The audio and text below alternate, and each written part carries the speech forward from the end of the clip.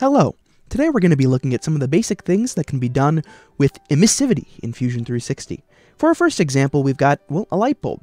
In order to make it emissive, all you've got to do is go to Appearance, Miscellaneous, Emissive, and whatever variety of output that you'd like. You can have 1500 lumens, 800 lumens, or anything in between.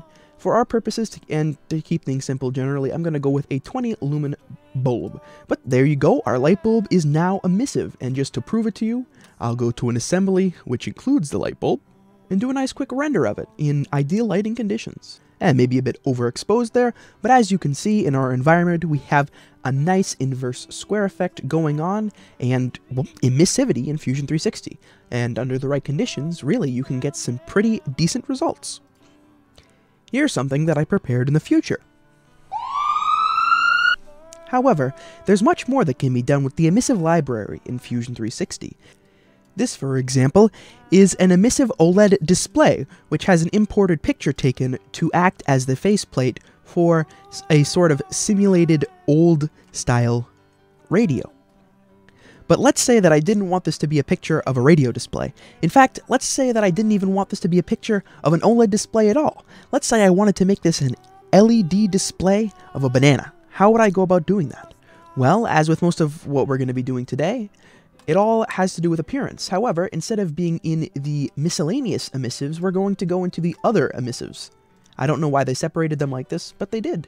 So, um, Yep, looks like there is no LED display, so we're to go with an LCD technology. Stick that bad boy on there, and oh no, we've got Windows Vista. No one likes Windows Vista, so just go to Edit, uh, Advanced, and change out the image. We're also going to want to increase the brightness a lot for our specific application, but we can worry about that in a moment. So we go to Edit Image, and I have a banana picture that is prepared already. Click Apply, and there you go. However, going back to edit image, you'll notice that this banana isn't really, well, square on the picture. So all we have to do to achieve that is simply create an offset. We can also do some scaling, which is going to be necessary because this is only a 2-inch puck. Alright, with that fixed, all we've got to do is move it down a bit, and there you go. An emissive banana. Now that our banana is emissive, if we, of course, save this and then go over to our scene, you'll notice that there's something a little bit, uh, well, wrong about the ban banana, and that's that there is basically no emissivity. Not a very bright banana, if I do say so myself, so let's go over uh, to the appearance and give this banana a bit more of a light output. Let's take it to 200,000. I know it looks like it's drowning out the banana, and it is, almost certainly. But let's go back to the scene and see what it does. Frankly, I think you're going to have to agree that that is a pretty bright banana. So there's one other application for emissivity in Fusion 360. Obviously, you're probably not going to usually have a picture of a banana, but if you want to create a tablet display that seems like it's emitting because in the confines of Fusion 360 it is, there is another possible use for the technology. Finally, we're going to talk about emissivity in the context of vacuum tubes. Now, this is a situation in which you're only going to have one or several, depending on the tube, of course, the point of emissivity that is going to have to reflect through the individual components of your part out into the virtual lens of Fusion 360.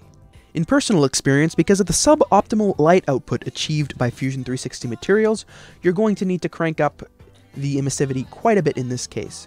Uh, and of course, tubes usually have a nice, well, tube glow, and the tube glow is a is a bit of an orange. So in order to get that appearance, all we're going to need to do is go over to Appearance and make this part a display. Now, you could make it a light bulb, but I want to make it a display, so calm down. So once again, you go to Other Emissive, and for no particular reason, this is going to be an OLED display. So now that we have an OLED display defined, we're going to go to Edit, and, I mean, we could give it a color right here and, and just be done with it, frankly. And now that we have a color, you can go to Edit, and, of course, crank up that luminance. Once again, even though it's completely unnecessary, I'm going to bring it up to 200,000. And if we go over to render and press the scary in-canvas render button, we can see that my computer is dying. We can see that 200,000 is not nearly enough for this application. So let's go back to design and, well, add some more zeros. Never mind, it won't let us add any more zeros, so let's make it 800,000. Now that it's completely ridiculous, of course, a great way to end the video so that the viewer will continue watching, we can go over to our render and render this magnificent thing. Just kidding, that would take an incredibly long time because uh, there's quite a bit going on here. So let's go to a picture from before. Or rather, something I prepared earlier. Wow, look what you can do with emissivity in Fusion 360.